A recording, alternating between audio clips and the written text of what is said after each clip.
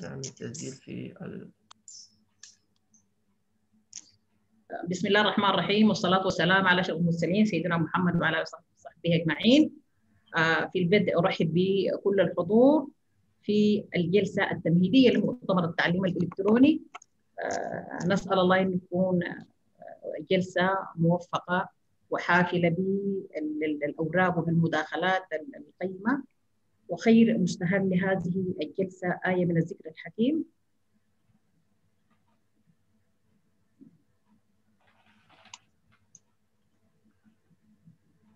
الله الرحمن الرحيم. إذا جاء نصر الله والفتح ورأيت الناس يدخلون في دين الله أفواجا فسبح فسبح بحمد ربك واستغفره إنه كان توابا. صدق الله العظيم.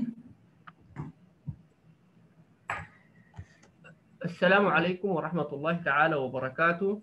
والصلاة والسلام على أشرف المرسلين سيدنا محمد وعلى آله وصحبه أجمعين. محدثكم على الدين عبد الوهاب عثمان. محاضر بعدد من الجامعات منذ 2002 قسم الحاسوب ورئيس للجلسة التمهيدية لمؤتمر التعليم الإلكتروني. معي مشترك يعني معي الدكتورة نايلة. أرحب بكم أولا وأتمنى أن يكون يوما حافلا من المحاضرات والورش التي تمتد من الساعة التاسعة صباحا وحتى الخامسة مساء. وبإذن الله من الساعة الرابعة وحتى الخامسة مساء طبعا بتوقيت الخرطوم السودان. أقدم وزملائي الدكاترة والبروفات المنظمين ومقدمي الجلسات العديد من التوصيات التي بإذن الله تكون وتساهم في تطبيق التعليم الإلكتروني في السودان. معنا كان مفروض برضو بروف أحمد صلاح من المؤسسين لجامعة السودان المفتوحة اعتذر لظروف ظاهرة و وحتى كان حيحدثنا عن نقطة هي في آخر التصنيفات للجامعات العالمية الجامعات السودانية في واحدة من التصنيفات طلعت من التصنيف نهائيا كل الجامعات السودانية. وبروف أحمد صلاح كان عامل تسجيل أو محاضرة طويلة للسبب. وكنا هو عاوزينه يقدم لكن في التسجيل الصوتي الطويل شارحا لخروج الجامعات من التصنيف العالمي. كان السبب الرئيسي إنه التصنيف الذكر كان معتمد على التعليم الإلكتروني وإنه الجامعات تكون عندها مركز بتاع تعليم إلكتروني منصة عندها مؤتمرات وبحوث منشورة علميا لذلك كان الخروج كان واحدة من الأسباب. طيب أنا بحب يعني أعطي فرصة لزميلتي في إدارة المؤتمر الدكتورة نايلة الطيب هارون طبعا الدرجة العلمية أستاذ مساعد مكان العمل جامعة حفر الباطن الكلية الجامعية بالخفجي دكتوراه في ال microbiology جامعة الخرطوم وشاركت في العديد من المؤتمرات وقدمت العديد من الأوراق والورش في مجال التعليم الإلكتروني. مدرب ومدرب معتمد من ال Board العربي. ورغم التخصص بتاع الإحياء في الفطريات هي أكثر تخصصا في التعليم الإلكتروني. وأغلب الدورات قدمتها في ذلك المجال. أعطيك الفرصة يا دكتورة نايلة عشان تعرفي أو تعطي فرصة للباقين وتديري الحوار قبل الدخول للمحاضرة الأولى. طيب شكرا جزيلا دكتور علاء. هو أوفى ما قصر يعني. ذكر هنا لكن لا ضيف إني أضيف بعض الإضافات. الدكتورة نايل الطيب هارون خريجة جامعة الجزيرة ماجستير جامعة الخرطوم دكتوراه جامعة الخرطوم مدرب إلكتروني معتمد مدرب إلكتروني من جوجل بعض الوظائف الإدارية ومنها الجودة قمت بتدريب عددت بعض الورش وبعض الدورات في التعلم الإلكتروني خاصة استخدام الفصول الافتراضية واستخدام بعض المنصات من ضمنها منصة ال Blackboard في المملكة العربية السعودية في جامعة بسطرطة سابقا بداية التعاقد كنت بجامعة الدمام. تم فصل الكلية وتبعت إلى جامعة حفر الباطن والحين في جامعة حفر الباطن. برنامج الأحياء. تقدم بعد شوية أبدأ. آه. خلاص الجلسة. مشاركة ال- ال- اليوم طبعا نسينا نعرف بالمؤتمر اليوم الثلاثاء 17 نوفمبر آه 2020 آه عبارة عن جلسة تمهيدية لمؤتمر التعليم الإلكتروني برعاية آه شركة سوفتي أكشنز لتقنية المعلومات والاتصالات وبمشاركة عدد من أساتذة الجامعات وبإذن الله يكون هناك في مؤتمر ضخم بعد شهور أكثر تنظيما لأنه دي جلسة تمهيدية وإعدادا من نشر الأوراق العلمية في المجلات العلمية وتقديم شهادات الحضور في المؤتمر الكبير بإذن الله تعالى. إذا كان موجود معنا أماني شركة Soft Actions الراعي للمؤتمر أستاذ أماني دكتور هشام تفضل.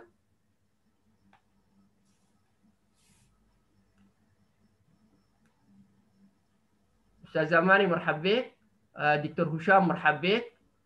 شركة Soft Actions لتقنيه مرحب بك مرحب بك. أستاذ علاء مرحب. كيف حالك؟ أنا أماني. هشام بس شوية بعيد busy لكن بيعمل join بعدين الساعة 12 في المداخلة بتاعتنا. نحن شركة Soft Actions ونحن مقدمين أنظمة لإدارة التعليم في السودان اللي هي إدارة المنظومات الجامعية وإدارة التعليم العام في المدارس. IP Schools و IP Universities هي أنظمة بتدير الجامعة وتدير المدرسة وفي نفس الوقت فيها ال e-learning ف فنحن بنديها مجانية هي أنظمة مجانية بنديها مجان للجامعة. وبالنسبة للمدارس نحن قدمناها لوزارة التربية والتعليم العام ووقعنا مذكرة تفاهم مع الوزير والآن شغالين في بعض ال modifications مع إدارة التعليم وزارة التربية والتعليم في الخرطوم. وفي الاجتماع الكبير بيكون في يوم 1 12 بعد ذاك حيكون في الانطلاق للنظام إن شاء الله. طيب Soft Actions اعرف الشركة يعني؟ أي مرحب طوالي تفضلي. Okay.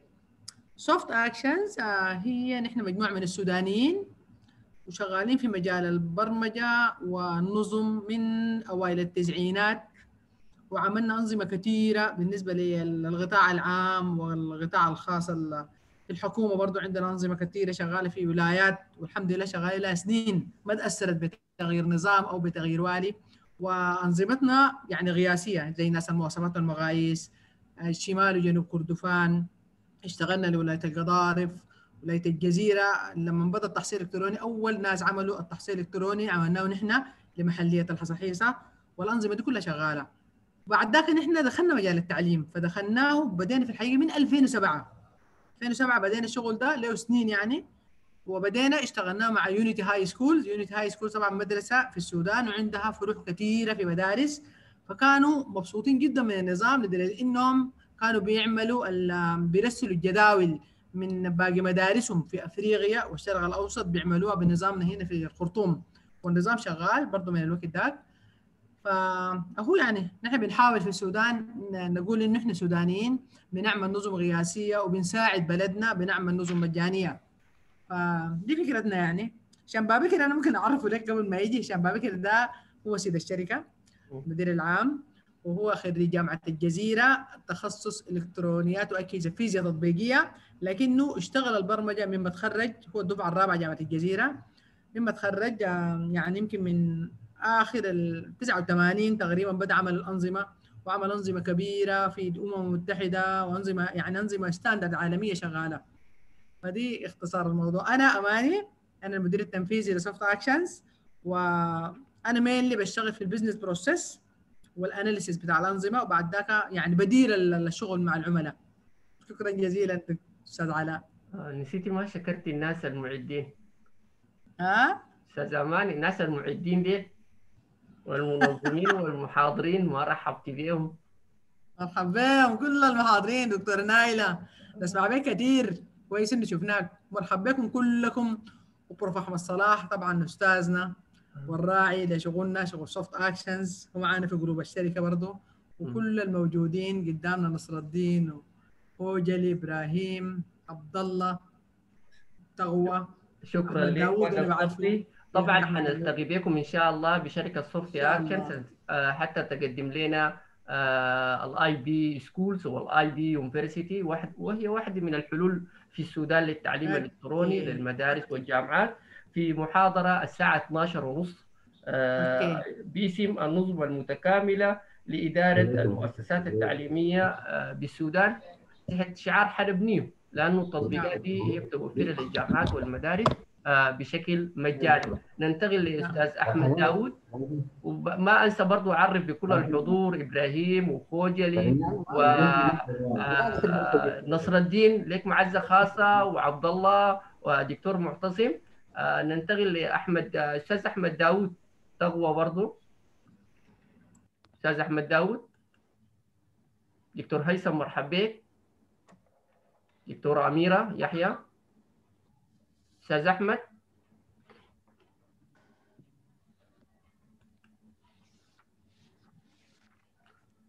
آه. ننتقل لدكتور معتصم السلام عليكم. أيوه معاك. دكتور معتصم آه، تعريف ورأيك في المؤتمر والتنظيم حيكون كيف للمؤتمر الكبير؟ إنت واضعه وأيضا رؤيات للخروج آه، أو لتطبيق التعليم الإلكتروني في الجامعات السودانية. تفضل. طيب السلام عليكم ورحمة الله وبركاته. آه مرحبا بكم جميعا بكل مقاماتكم السامية.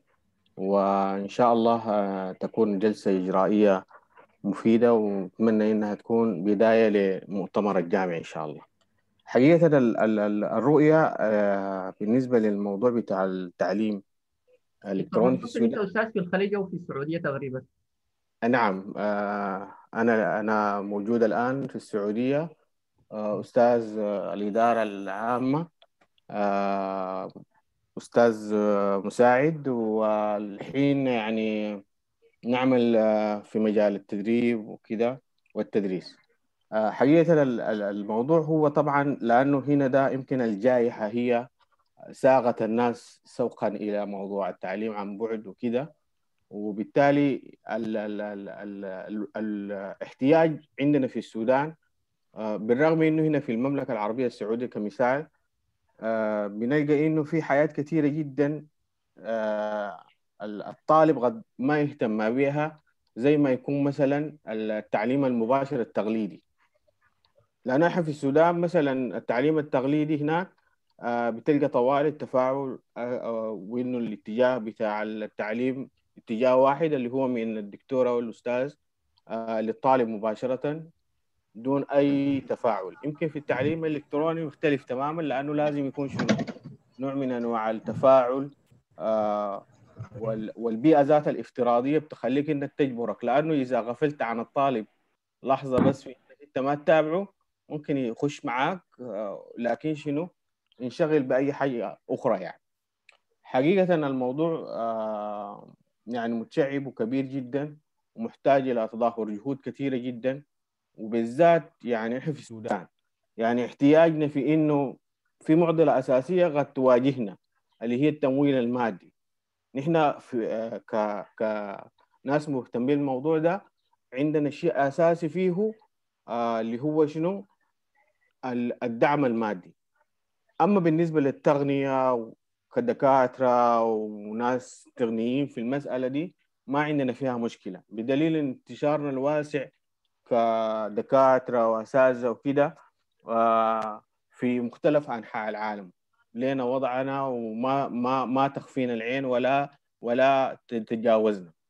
فعشان كده إذا نظرنا للمسألة دي ببعدنا في السودان آه، لو في معضلة أساسية بتواجه التعليم الإلكتروني في السودان اللي هو المشكلة المادية البحتة.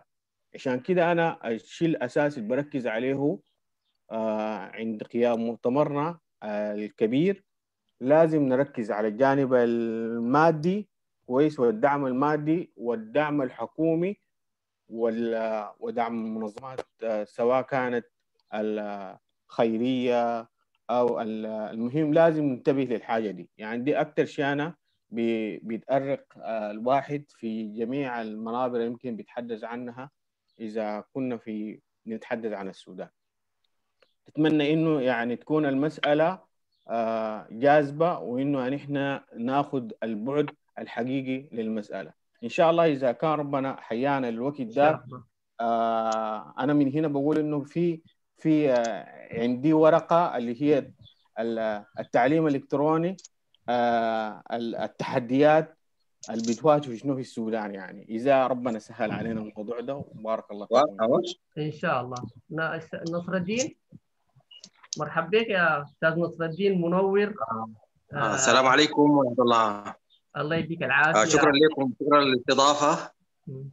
آه، وربنا يوفق الجميع إن شاء الله. تعريف وكلمة بسيطة تشجيعية لنا ولدكتورة نايلة وللمنظمين. آه، نصر الدين نور الدين سرير آه، وزارة الزراعة مم. والموارد الطبيعية الاتحادية آه، في الحقيقة نحن الأيام دي شغالين كثير آه، فيديو كونفرنس. مع الاتحاد آه، ومع المنظمات الدولية دي بخصوص الزراعة في السودان و... فبالنسبة لنا دي آه، ظاهرة جديدة وممتعة وبتقلل التكاليف كثير شكرا لك نتمنى لك آه، التوفيق آه. أنت وزوجتك دكتورة نايلة والأولاد يعني كل التوفيق لكم. شكرا لك شكرا لك جزاك الله خيرا بارك الله فيك. أستاذ أحمد داوود آه، دكتور هيثم. فاتح المايك عشان دارين نختم ال- الهناية. أستاذ أحمد. السلام عليكم. تفضل يا أستاذ أحمد.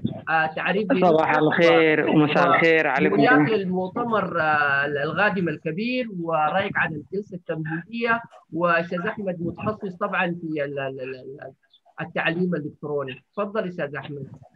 السلام عليكم جميعا مساء الخير وصباح الخير. آه والله صراحة أنا عايز عن الامتنان بالمجهود الجبار اللي قاموا به الأستاذ علاء الدين والدكتورة نايلة. يعني خلف الكواليس الناس دي الأسابيع يا جماعة مسهرين الحياة دي ما جات يعني الحياة اللي بنشوفها الآن بكل بساطة. فبحييكم أول حاجة ب- وكلمة شكر لكم بسيطة. لكن شكرا لكم للمجهود الجبار اللي تم من خلف الكواليس. آه أول حاجة أنا أحمد داود محمد إبراهيم أستاذ جامعي ومدير وحدة التعليم الإلكتروني في كلية الفجر سابقا وكذا كلية الآن أعمل بها. آه، مطور برمجيات وعندي منصة تعليمية.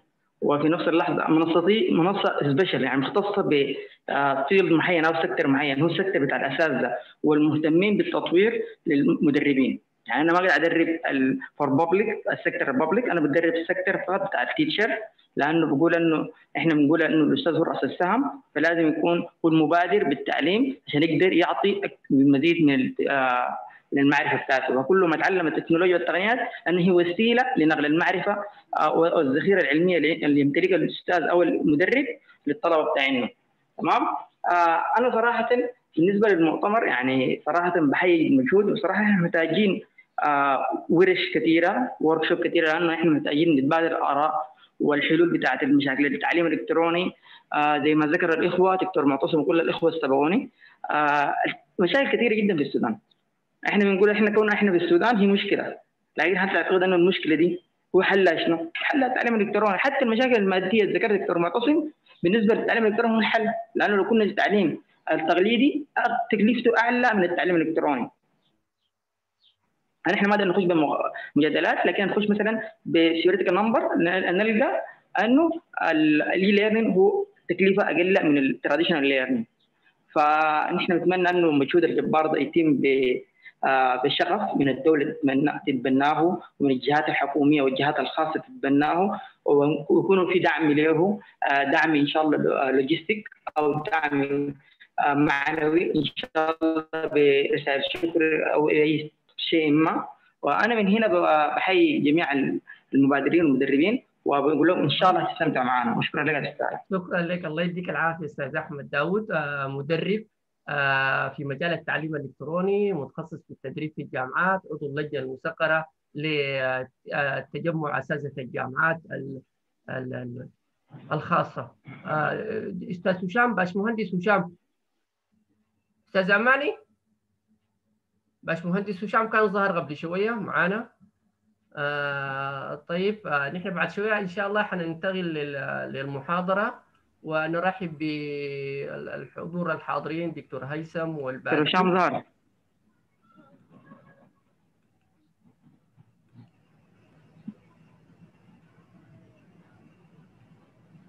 دكتور هشام ظهر ممكن يدي أيوه دكتور هشام وين؟ أيوه دكتور هشام باشمهندس هشام السلام عليكم. اسمك والتعريف وطبعا أنتوا الشركة الراعية للجلسة التمهيدية للمؤتمر. آه، رؤيتك عن الجلسة التمهيدية وتوقعك للمؤتمر الكبير إن شاء الله. ونبذة عن IP University و IP Schools تفضل. السلام عليكم. وعليكم السلام. واضح إنه ده عمل عظيم جدا وحيحدث نقله كبيرة. وجاء في وقته كويس جدا إنه ماسكينه ناس professionals ما تجار عشان كده أنا بتوقع الموضوع ده يمشي لقدام. شكرا. لكن داير نقيف مع بعض ونتكاتف مع بعض وهدفنا واحد. والتعليم أنا خشيت فيه لأنه من أسرة بتاعت معلمين من اجدادنا والدينا كلهم في التعليم مشيت في السكة دي وبنحس إنه ده واجب. وبرضه نحن كنا من الناس المحظوظين اتعلمنا مجانا وبصورة كويسة يعني لغاية أنا خريج جامعه الجزيرة. كان الاصطاف حقنا تقريبا كله من أمريكا وبريطانيا وأوروبا وكده. كنا محظوظين جدا يعني في المستوى حق اللابات وفي وفي نوع التدريس ذاته. بالإضافة لكده يعني ما في زول كان محتاج بس يصل للجامعة، الجامعة كانت حقت الغوبش الوقت ده. طيب في التعليم أهو نحن مشينا في مسارين إنه آه المدارس ال- حقت الأساس والثانوي زي التمهيدي دي عملنا لها نظام وسميناه EB Schools عندنا واحد ثاني للجامعات اسمه EB Universities EB School ده نحن قدمناه مبادرة للوزارة السنة اللي فاتت. و يعني لقى قبول من الناس. كان في مؤتمر حق المبادرات في في القاعة قاعة الصداقه وكان ياتا قاعة ثالث؟ أيوه أيوه أيوه في في ديسمبر اللي فات. يعني نازل 11 شهر فلقت قبول بصورة كويسة. ال system هو مجانا للوزاره وهو data موحدة data واحدة لكل المدارس في السودان. يعني حوالي أكثر من 240 ألف مدرسة. ال 240 ألف مدرسة دي فيها عدد التلاميذ ما ما يعني حوالي 10 ولا 11 مليون تلميذ وتلميذة. الرقم ده كبير جدا. وبعد ذاك قمنا يعني عرضناه لبعض المدارس وكانوا شغالين وكانت في إضافات كثيرة جدا أضافوها الناس. وبرضو الوزارة كونت